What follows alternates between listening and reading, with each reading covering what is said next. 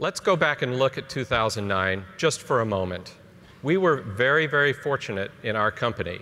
We were able to get through 2009 without any layoffs due to the economy. And that was very important because we committed to our employees that we would stand by them if they would stand by our customers. We felt that the distractions associated with a layoff would be devastating and would break a trust that you placed in us.